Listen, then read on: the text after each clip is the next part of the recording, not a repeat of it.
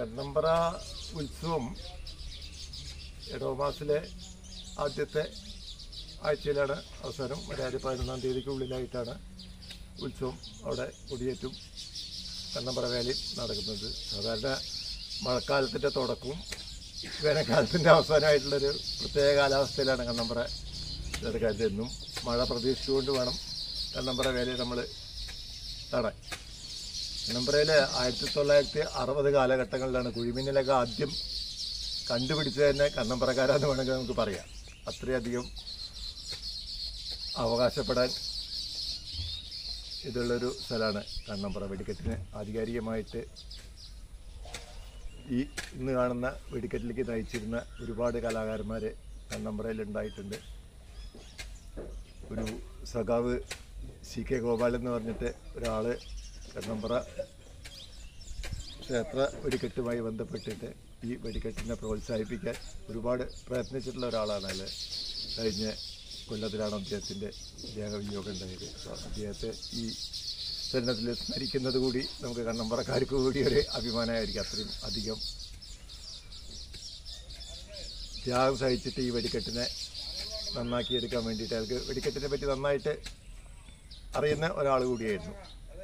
C K Gopalan C K G എന്നാണ് പറയുന്നത് പന്നമ്പറയിലെ ഒരു കാലത്ത് ഏറ്റവും കൂടുതൽ ഡൈനാമിറ്റും പുടയമുട്ടും കുഴിമിന്നലും പൊട്ടിച്ചിരുന്ന സ്ഥലമാണ്.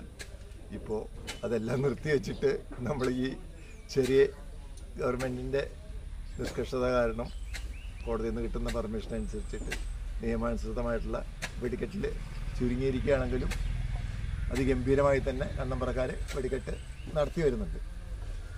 മഴ അനുകൂലമാണെങ്കിൽ നമ്മുടെ വെടിക്കെട്ടും അതിഗംഭീരമായി തന്നെ തവണ നടക്കും എന്നുള്ള പ്രതീക്ഷ നമുക്ക് വെച്ച് പുലർത്താം. ബാക്കി വെടിക്കെട്ടിന് ശേഷം നമുക്ക് ഇപ്പോൾ അവസാനത്തെ വെടിക്കെട്ടാണ് കണ്ണമ്പറയിലത്തെ ഈ സീസണിലെ അവസാനത്തെ വെടിക്കെട്ടാണ്. കണ്ണമ്പറ കുറേ കാലമായിട്ട് ഒരുപാട് പ്രസിദ്ധമായ വെടിക്കെട്ടുകാർ വെടിക്കെട്ട് നടത്തിയിട്ടുള്ള ക്ഷേത്രമാണ് കണ്ണമ്പറ കാരണം സീസണിന്റെ അവസാന കാലത്തായതുകൊണ്ട് തന്നെ ഏറ്റവും ഗംഭീരമായ വെടിക്കെട്ട് നടന്നിരുന്നൊരു സ്ഥലം കൂടിയാണ് കണ്ണമ്പറ. എന്നാലും ഇപ്പോൾ രണ്ടായിരത്തി പതിനാറിന് ശേഷം ചെറിയ സാധനങ്ങൾ വെച്ചിട്ടാണെങ്കിലും തിരക്കില്ലാത്ത രീതിയിൽ വെടിക്കെട്ട് നടന്നുകൊണ്ടിരിക്കുന്ന ഒരു സ്ഥലം കൂടിയാണ്. പക്ഷെ അതിന്റെ പ്രത്യേകത എന്താണെന്ന് വെച്ചാൽ അവിടെ കാർഷിക മേഖലയാണ്.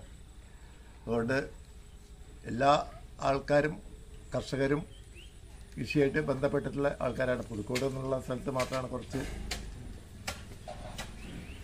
ആൾക്കാർ